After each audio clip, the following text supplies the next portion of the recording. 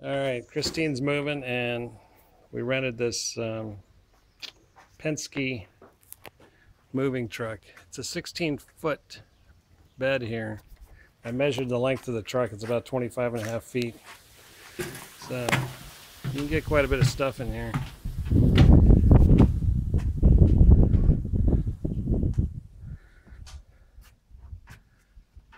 It's uh, packed to the front there. We could have gone higher, but didn't think it was necessary. But then we started thinking maybe we should have. But this thing, uh, this ramp pulls out, and then you just lay it up top here. It's got two slots. Comes back pretty far.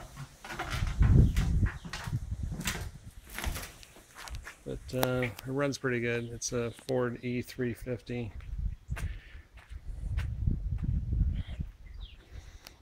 Had a little damage on the side. Somebody had run into something.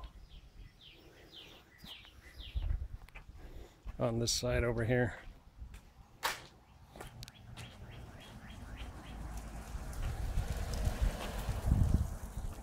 Right there.